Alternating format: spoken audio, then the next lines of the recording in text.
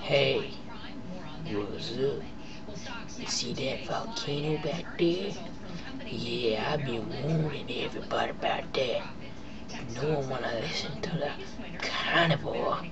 They think I'm all joking so I can eat them.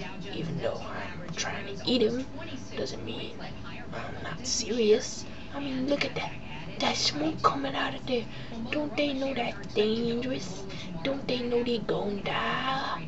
Seriously, like, dude, I'm like, man. Yeah. Even though you're like, no. And I'm like, yeah. So, ah.